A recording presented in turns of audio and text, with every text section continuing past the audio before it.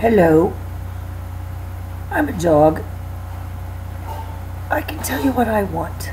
I don't want you to put an electronic collar on me and try to ram down my throat that it doesn't hurt. I can tell you it does.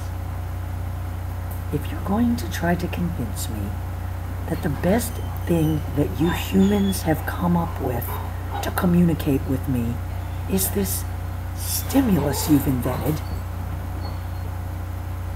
I, I'm not buying it. I don't want it.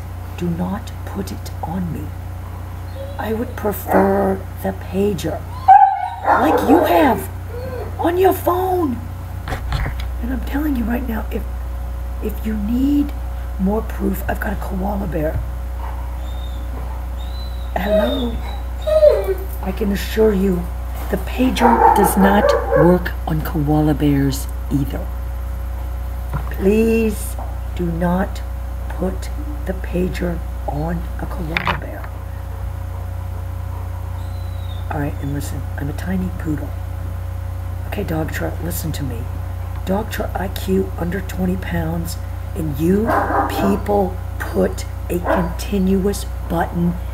You think that this woman, Madge, that owns me, has a clue what that even means? This woman can't fight her way out of a paper bag, and you're going to give her something like this and put it on my neck? Are you people on crack? Listen to me. A pager, that I can handle. You got yourself a pager.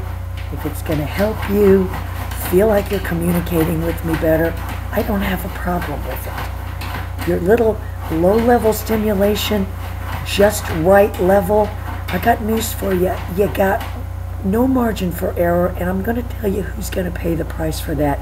Me. I'm a little dog. I, I Jesus, I weigh eight pounds. Give me a break.